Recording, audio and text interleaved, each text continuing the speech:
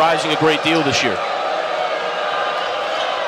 Penetrating dribble, Segura out to Gilbert for three.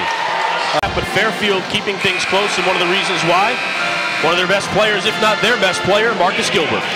Well, Duke's got an awareness on him. He had 21, did Gilbert, 21 points in their game last night. He's their leading returning scorer. We talked about how Duke, when he doesn't have the basketball, is really in a face guard. That right there, his first look, but he shows you the range. And Sydney Johnson speaks so glowingly about Gilbert. He says he's exactly the kind of kid that we want at Fairfield. High character and talented. On him, he's 6'11", long arms, big hands, such a good rebounder. You take your eye off Amile Jefferson for one second and he can grab the rebound as Gilbert hits another shot. So an 11-point differential, and that's the differential in the game.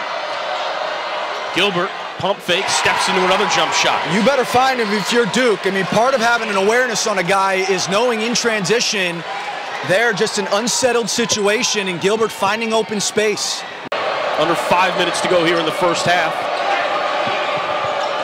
Gilbert's found his rhythm.